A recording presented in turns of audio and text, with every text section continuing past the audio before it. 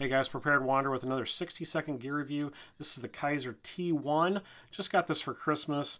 This is a 154 cm steel blade, uh, a 3.2 inch uh, blade on it, and it has a micarta um, handles on it.